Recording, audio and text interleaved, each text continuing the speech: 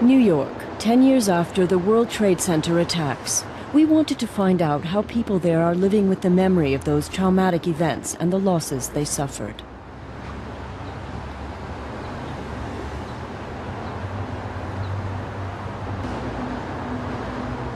In 2001, Timothy Welty was a firefighter, 34 years old. He had been on duty the night before September 11th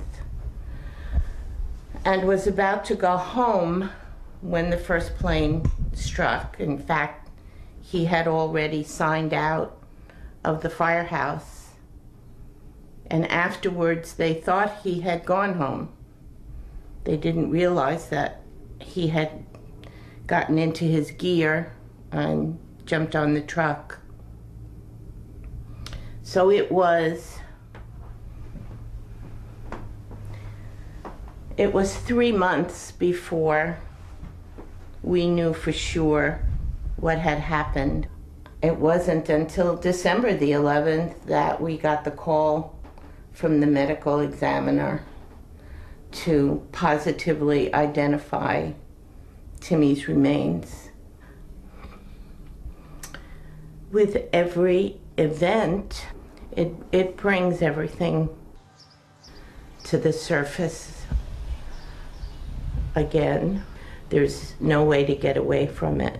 So we really haven't been allowed to heal. How does Adele Welty cope with such profound grief? We accompanied her on a visit to a good friend in Long Island. Talat Hamdani emigrated over 25 years ago from Pakistan to the USA, where she made a home and raised three sons, all American boys. One of them, Salman, had been a volunteer EMT, emergency medical technician. He too died during the attacks at the age of 23. Shared loss has united these two women, one Catholic, the other Muslim. They met through Peaceful Tomorrows, an organization founded by family members of those killed on September 11th.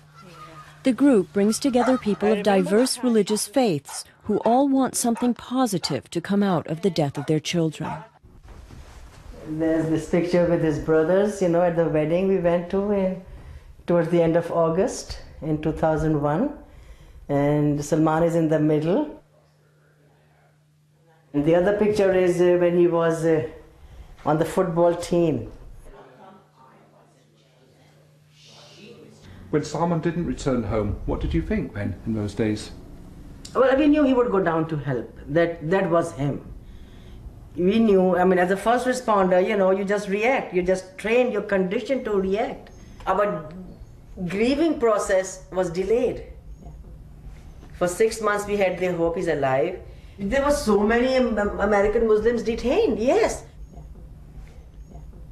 Did the reality sink in? When did you suddenly realize that he's not detained? Well, to be honest, I still had hope that he maybe he's detained even after his funeral. That was my um, way to cope with this. Yeah. That was my, you know, I, I mean, I had family members who would contest me. I said, I know he's dead, but the moment I accept that he's dead, I break down. So what's wrong with it if I say, you know, maybe he's gone to England to study like he did before or he's somewhere? It's hard. Especially when we haven't seen the face. Yeah. You know, that's what everybody tells me. It took 10 years for my country to stand behind me. 10 years it took, you know. I mean, I didn't just start speaking this year or last year. Adele is, you know, testimony to it. I've been speaking since day one. The day Salman did not come home, you know, uh, we started searching for him and then we had to, you know, defend our faith and say, no, you know, we are good people, we are good Americans. And uh, uh, so it took 10 years, you know, for uh, the American nation to finally acknowledge my son's heroism. The heroes of downtown Manhattan. Many local places of remembrance now salute them. We're going to the Tribute Center, which was started and is uh, run by Lee Ielpi, whose son Jonathan was killed with my son Timothy. They were from the same firehouse. They were friends. They played hockey together. We visited a construction site right next to Ground Zero, where the new memorial will open in September 2011. Seeing firefighters on duty here, it's impossible not to think of the events of 9 11.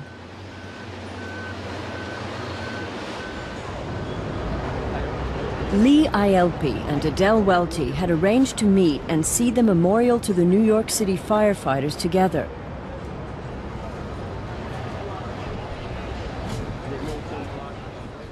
This plaque honors their late sons with name, occupation, and rank.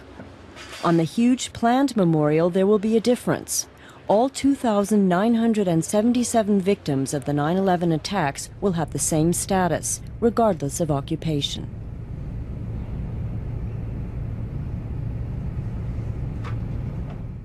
Yeah, the plaque outside was made specifically for firefighters by the New York City Fire Department. Um, so that's the only reason it has just firefighters. It's on the wall of a firehouse and it brings tribute to the 343 men that died on 9-11. Inside tribute, it's, it speaks of those people that don't have a voice anymore. From the beginning, opinion over how to memorialize the tragedy was sharply divided.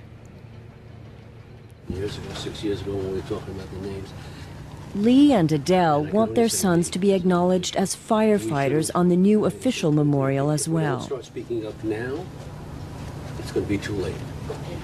And you know what? It's too late. The Tribute Center is a small museum next to the Ground Zero construction site. It was founded by the September 11th Families Association. Why does Adele feel so strongly that her son Timothy should be named as a firefighter? Timmy was only at the World Trade Center because he was a firefighter. He didn't work there. So it seems to me there should be an acknowledgement that um, he came to save lives and lost his life at the same time.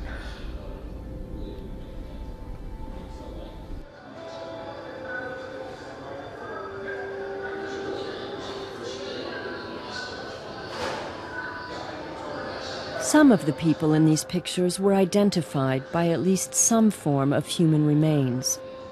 Some have simply vanished without a trace. Remains of Adele's son Timothy were recovered. She was able to lay him to rest, but has not let him go.